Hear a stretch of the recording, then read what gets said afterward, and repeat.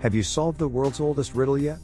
Even 4,000 years ago, people tested one another's critical thinking skills with riddles and logic puzzles.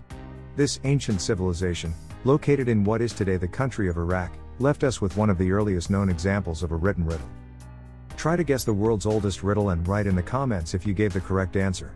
Before we get started, please subscribe to the channel, click on the bell and like this video if you are a fan of hard Christmas riddles and answers. Let's begin. There is a house. One enters it blind and comes out seeing. What is it?